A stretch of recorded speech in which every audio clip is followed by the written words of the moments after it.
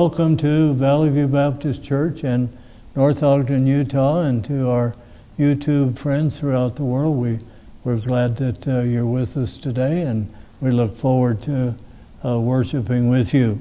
So, as always, we're speaking about our abundantly able God from Ephesians 3:20 and 21. As always, we are must remember that faith defeats fear. Faith defeats stress. Faith defeats anxiety. Faith defeats discouragement. And faith defeats depression. Yes, God is still on his throne. Yes, God is still in the miracle business. Yes, God is still all knowing, all powerful, everywhere present at the same time. So, with that in mind, let's just look to the Lord. Heavenly Father, as we come to just present your word, simply recognizing, Lord, the truth of the word, the leader of the word,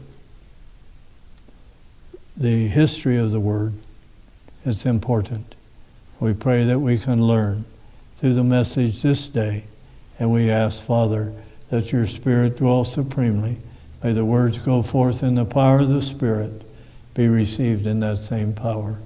In Jesus' name, amen.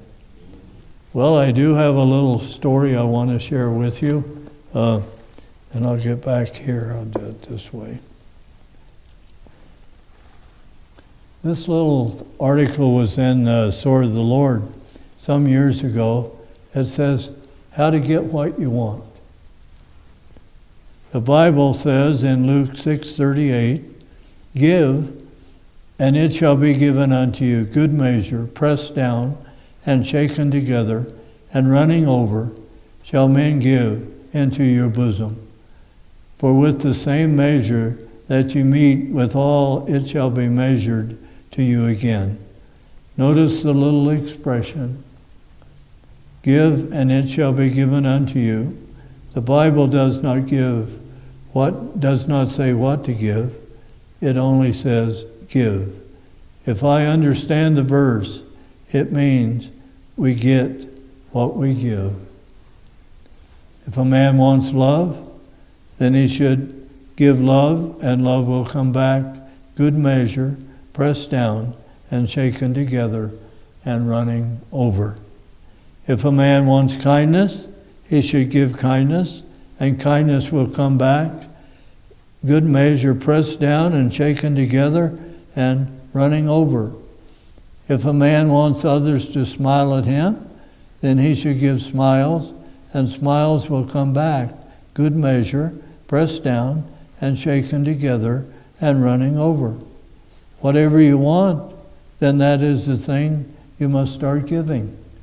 This simple, this same principle is taught in the Golden Rule. Therefore, all things whatsoever you would that men should do to you, do even unto them also. Matthew 7 uh, 12.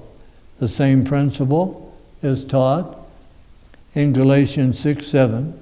Whatsoever a man soweth, that shall he also reap. Sow smiles and reap smiles. Sow frowns and reap frowns. Show, sow kindness and reap kindness. Whatsoever a man soweth, that shall he also reap. Speak kind words, and you will hear kind echoes. Something that's all available to, to uh, each one of us. So I encourage you uh, to do that. So, with that, that in mind, we will uh, begin our message.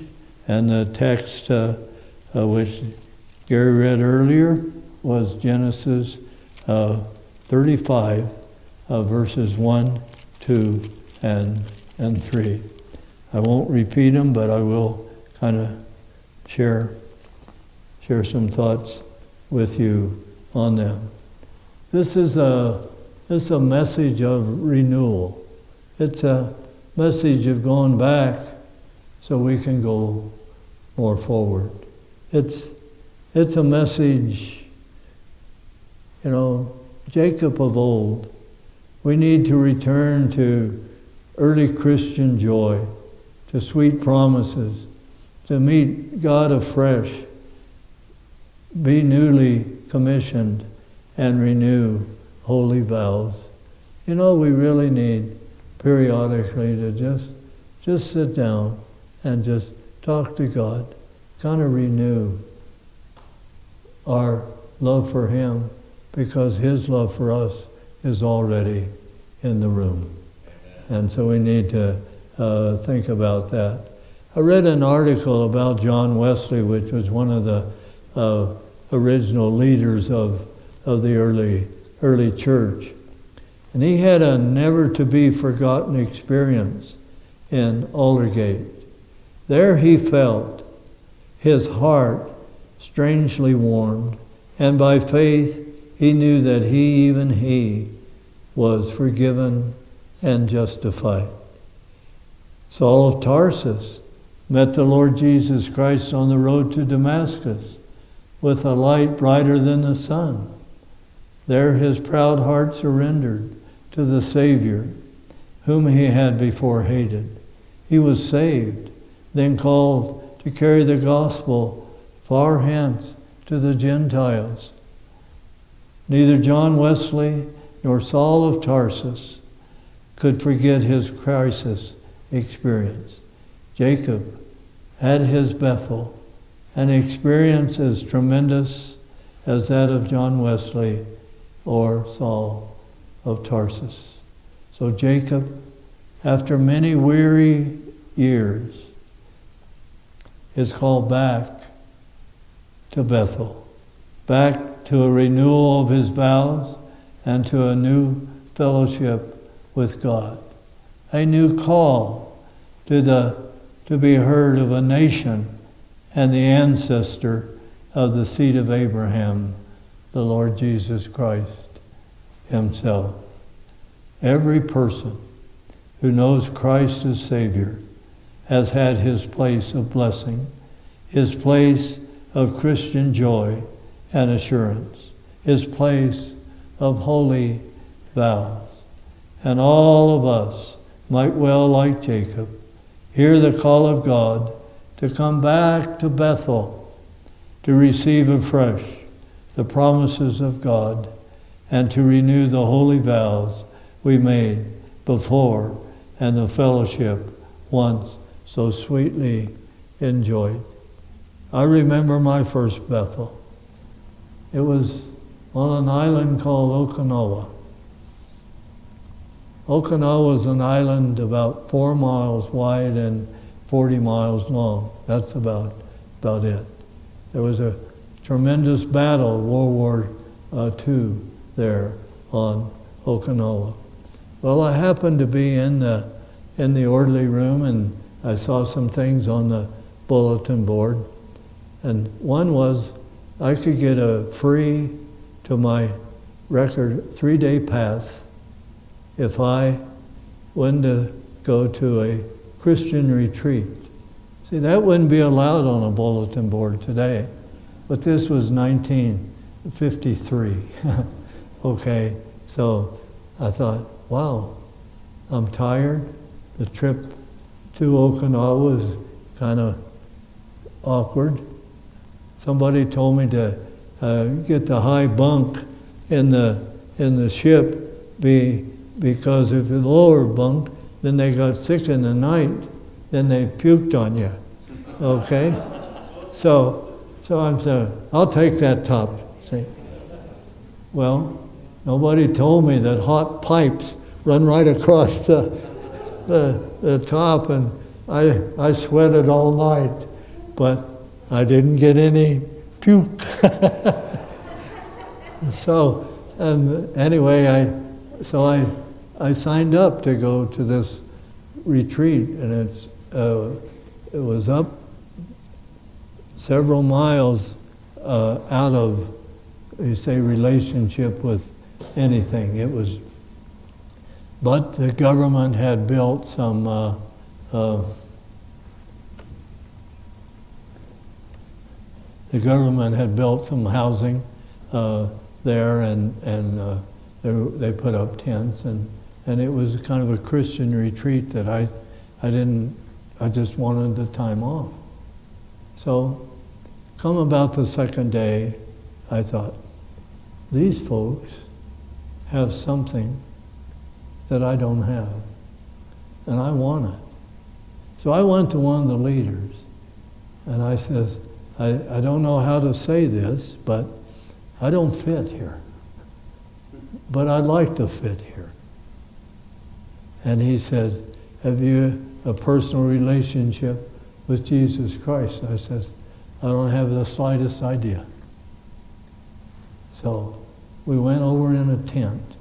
There was straw and those old uh, chairs, you know, those slats in the in the back and folded, and some of them had missing slats in them. And anyway, we sat in that in that tent one afternoon on Okinawa and I accepted Jesus Christ as my Savior. Now, I can't go back to my Bethel, okay? But I, I've had several Bethels since, since then. And I refer back because there were some missionaries there that they, I was on the, uh, the Far East uh, radio network giving my testimony with uh, interpreters there, and that was a, a, thrill. I was in some of the the, the little villages, and and the, the missionaries there would go from village to village, and and they took me on several occasions with them and let me give my testimony to about my newfound friend in Jesus Christ. And, and there was also a, an interpreter uh, there. So I had that, that opportunity. And I think back on that uh, for all those, those years that, uh, and then when I came stateside, I, I went to Allapattah Baptist Church in North Miami, Florida. How did I know that church? It was because one of the chaplains on Okinawa said, when you go home, I want you to, to call this. I called him as Dr. Haldeman was his, his name. He had been president of the Southern Baptist Convention, very large church. So I, I called him. He had me uh, sit with him during the worship service and stand up and give my testimony to several hundred hundred people. That same church, just a, a few weeks later, had a revival, and my sister, my precious sister, Eleanor, walked down the aisle and accepted Jesus Christ. That's a Bethel, too. I'll remember that. She's in heaven now. She was six years younger than me, but she got, she got cancer. But when she found the Lord, she and her husband went to uh, work for child evangelism, and she wrote a lot of the literature that's still on the uh, table as far as uh, the, that, that ministry is concerned. Leah and I one time went back to uh, Pennsylvania where they were training and doing things, and we were spent a day or two with them in their in their ministry there. That's a Bethel uh, too. So I, I guess I can say I've had a lot of Bethels, okay, but I've had a lot of trials and tribulation as well. But I'm back to Bethel, okay, and I hope that through this message that we can all get closer to our to our Bethel. When I accepted this pastorate here, many times I would come over and, and sit at the first pew and read my Bible and then step up here and kneel all alone, but talking to God about what he wanted me to do. And I had many Bethel experiences. And a lot of you folks have walked the aisle to a establishing a Bethel, so to speak, a place that you really got close to God with, and and you know, time is a healer sometime, but time is a mess sometimes because we can do the wrong thing. Well, I'm going to talk to you a little bit about Jacob, okay?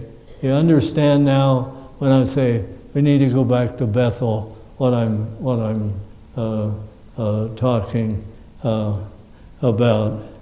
Well, Jacob had a twin brother. His name was Esau. In answer to the beseeching prayer of Isaac, his barren wife, Rebekah, conceived. When the twins struggled within her, she prayed and God revealed this to her in Genesis 25 23.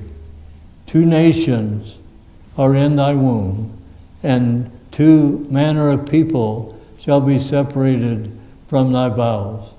And the one woman shall be stronger than the other, and the one people shall be stronger than the other, and the elder shall serve the younger.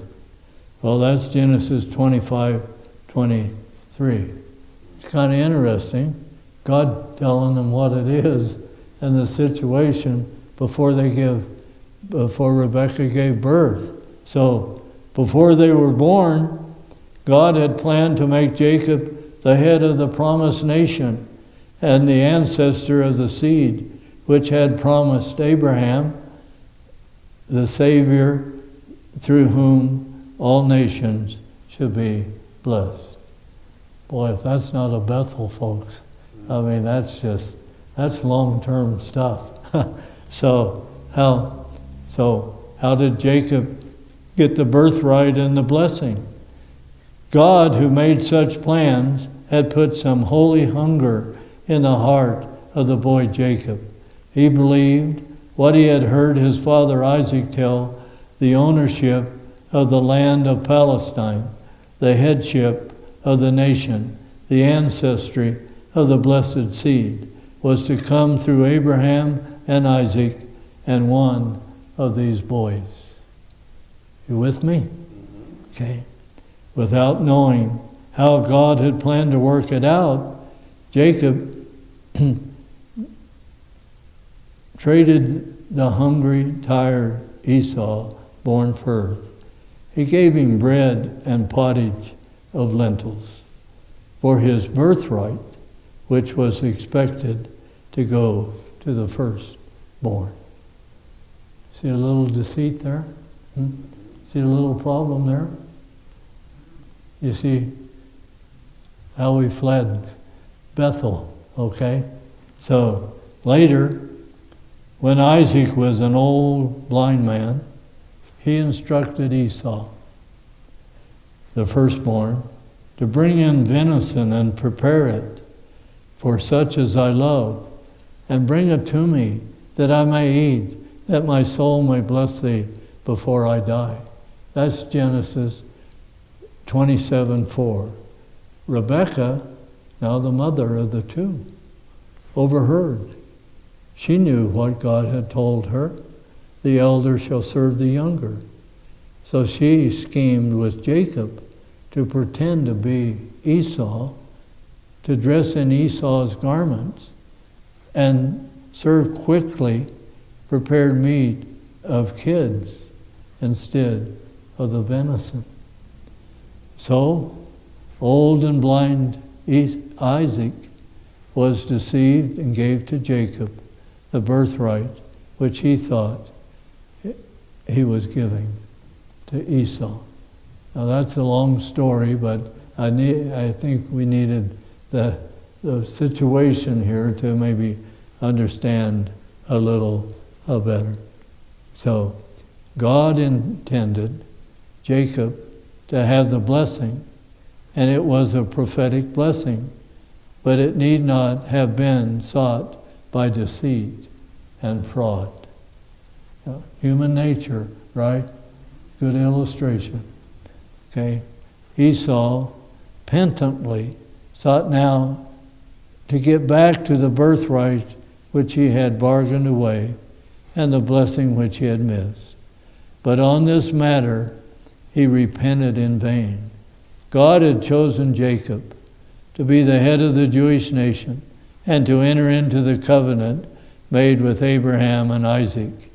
We can imagine how angry Esau was that his crooked brother, for we read in Genesis 27 41, and Esau hated Jacob because of the blessing wherewith his father blessed him.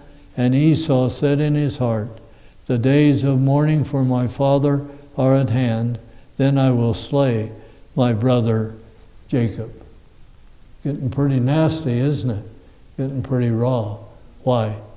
You see how sin entered in? You see how selfishness entered in? You see when when mom just overheard something, she thought, no, I want Esau. Okay? God was saying, I want Jacob. Okay? Conflict with God right, right out of the place. So, well, dreading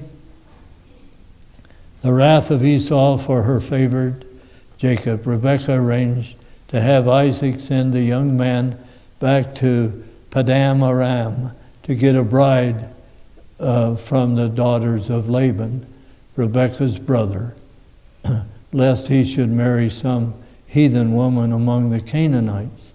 So Jacob, running for the wrath of his brother, running from the wrath of his brother, and shame before his father, left home and headed northwest. it must have been a sad journey away from the mother he loved and from his old father whom he had deceived and from familiar surroundings. He had no money. He had no company. When the dark came upon him, he was near a place called Zuz, Z-U-Z. There was no inn. There was no friendly home, no pleasant bed available. So he gathered rocks together to prop his weary head and slept on the ground. Well, now there's a ladder involved. Okay? So, as sad and lonely Jacob slept of weariness, in a dream, heaven opened. There was a ladder set up on earth reaching to heaven. The angels of God ascended and descended. God stood above the ladder and said in Genesis 28 13 through 15, folks, I am the Lord God of Abraham thy father, and the God of Isaac. The land whereon thou liest, to thee will I give it, and to thy seed. And thy seed shall be as the dust of the earth, and thou shalt spread abroad to the west, and to the east, and to the north and to the south. And in thee and thy seed shall all the families of the earth be blessed. And behold, I am with thee, and will keep thee in all places whither thou goest, and will bring thee again into the land, into this land. For I will not leave thee until I have done that which I have spoken of thee. This is God speaking to Jacob.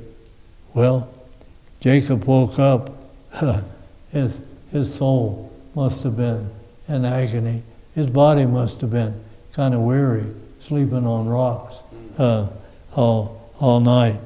So, he, partly with the fear, he woke up that sinful mortals must have, when they came into God's presence, and partly with the glory of God, presence and promises, he said, how dreadful is this place? This is none other but the house of God, and this is the gate of heaven. He's asking in verse uh, 17 of that 28th uh, chapter of Genesis. God was in the place where the lonely man lay his weary head and slept. And he didn't know it. He didn't know it.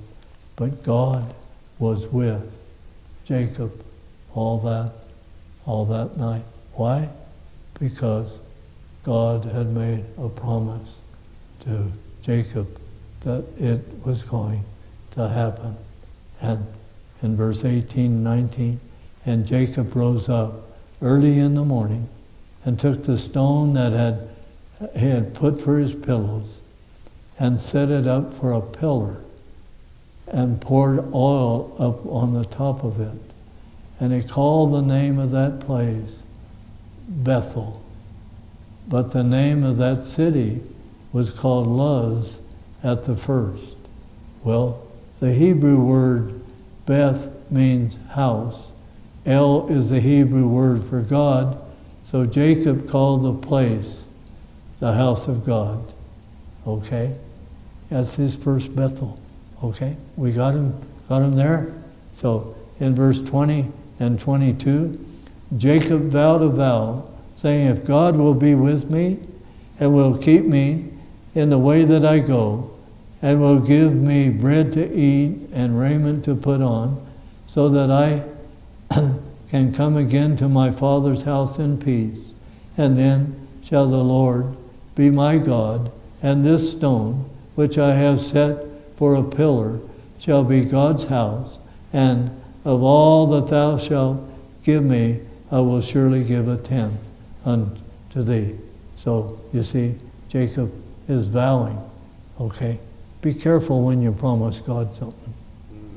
He may hold you to it. Okay? So, how could Jacob ever forget that holy night? The awe inspiring scene of angels who are uh, usually invisible to mortal eyes, the glory of God shining above the stairways to heaven, the voice of God speaking to his heart, and what glorious promises that he should have a multitude of seed, and in thy seed shall all the families of the earth be blessed. That promise could only be fulfilled by the coming of the Savior, the seed of Abraham, of Isaac, and of Jacob. So, what are we saying here? You see, God protected the lineage all the way from Abraham through the Old Testament to the birth of Jesus Christ. Amen. It was all protected by God, and God protected it very, very strongly. So, and so, uh, the promise was not only to his descendants, but God had promised to be with him and to keep him and bring him again in peace to the land of Canaan on the basis that God would do what he had said, would care for his needs and bring him again to his father's house in peace, Jacob had made three lifetime promises. Let me just share. First, then shall the Lord be my God. Okay, that's the first one. Okay? Is this the time when Jacob first knew forgiveness of sin and opened his heart to the saving grace of God? Is this the time when his heart was renewed and changed? When he became a child of God? Perhaps it was. We know that he had believed in the God of his father, had wanted the spiritual heritage of the firstborn. But now there is an outright decision then shall the Lord be my God. What's that tell us? That's when Jacob had a personal relationship with Jesus Christ, which we all need to have. Okay? We don't, sometimes we get the R of religion as opposed to the R of relationship. Okay? religion doesn't get you anywhere, but relationship does. A personal relationship with Jesus Christ puts you on the road to eternity with Him. So it's very personal. Second, the stone that had been his pillow. He set it up and poured oil on the top. Henceforth, this stone, this place, was to be to him the house of God. So he called it Bethel, the name which has remained some 3,700 plus years. Isn't that interesting? Last of all, Jacob made the holy vow Of all that thou shalt give me, I will surely give the tenth unto thee. This was the first of two or three climatic, spiritual, mountaintop tops in Jacob's life. How could he ever forget the presence of God, the holy promises, the serious vows which involved all his loyalty, all his will, all his love, all of his possession? Well, my dear friends, in YouTube land here at Valley Baptist Church, did you not have a Bethel also? It may have been when you were saved. What about the time when God revealed himself to you? He did that to me on the island on the island of Okinawa. Okay? When he called you, when he encouraged you, when there was repentance or holy vows, or a new start. So you too, each one of us, undoubtedly have had a Bethel, your place of blessing, those times of special divine call and intervention, and those times of decision. Do you remember the time when you vowed you would have upon you continually the breath of God the power of the Holy Ghost. And perhaps you set apart a time for the morning watch. You kept a rendezvous with God in the secret place of prayer. I have that every every morning. I love to come to the office, my office, and talk to God quietly yet sincerely every every day to to be. Wow. So of all who hear me who are saved have some Bethel which you ought to go back to. I do not doubt that to many a heart who who hears this God has said arise Go up to Bethel and dwell there, and make there an altar unto God that appeared unto thee. You ought to answer to all your family and those about you. And let us arise and go up to Bethel, and I will make there an altar unto God, who answered me in the day of my distress, and was with me in the way which I went. So if we go back to our text and read that third verse, I just read part of it uh, here. This is when, after God had spoken to, uh, to Jacob, and then he says, after God says, you, you get up now, you go to Bethel and you dwell there, and make yourself, make an altar there. And, and so uh, Jacob, he, he went and said to his household and to all that were with him, Put away the strange gods that are among you, and be clean, and change your garments. And let us arise and go up to Bethel, and I will make there an altar unto God, who answered me in the day of my distress, and was with me in the way which thou went. And, the, and verse 4 climax it for us. And they gave unto Jacob all the strange gods which were in their hand, and all their earnings which were in their ears. And Jacob hid them under the oak which was by Shechem. And they journeyed. They went back to Bethel. What I love about this is God told Jacob, get with it, Jacob. You need to go back where this all started. You need to go back where the angels climbed the ladder up and down. You need to go back where I, where I was with you all night and you didn't even realize it.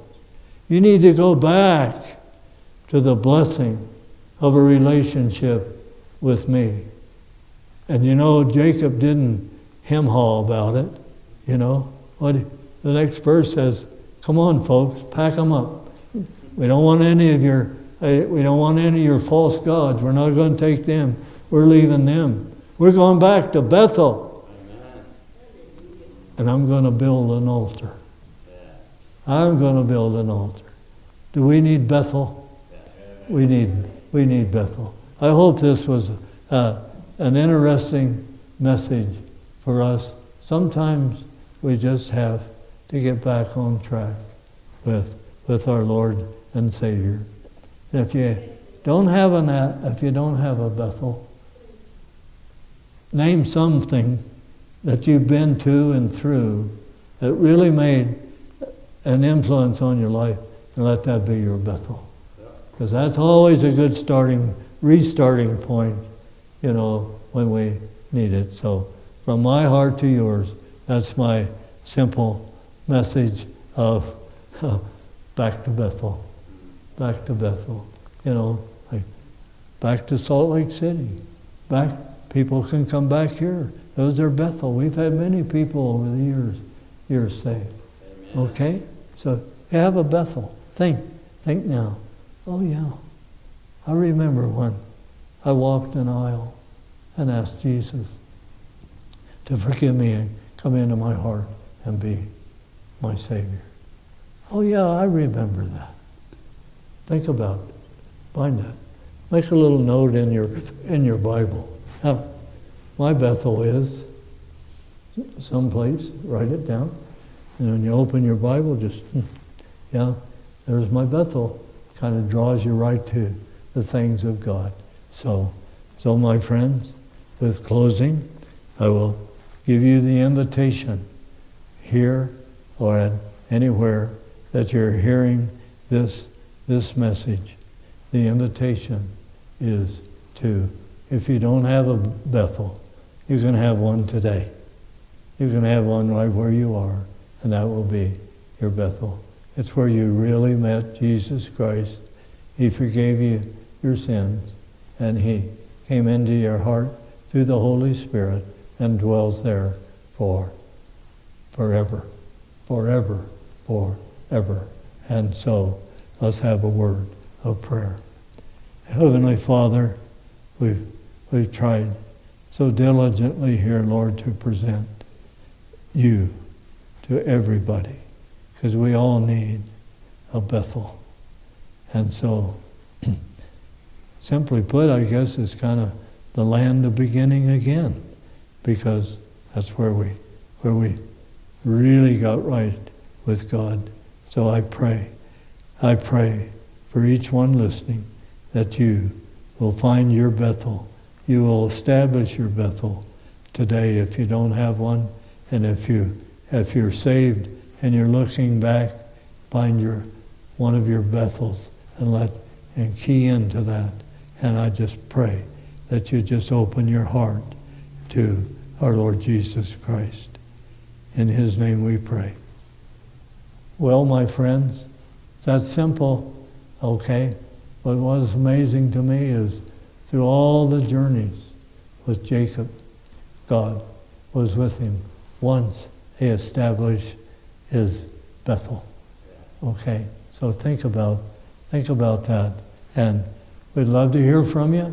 Just Valley View Baptist Church, Post Office Box 12653. Ogden, Utah, 12653. Oh, I said that twice, didn't I? So, well, I've had several Bethels here, so I, so uh, that's okay. So anyway, it's just our simple address. We'd love to hear from you, and, and God, God bless you. Thank you so much.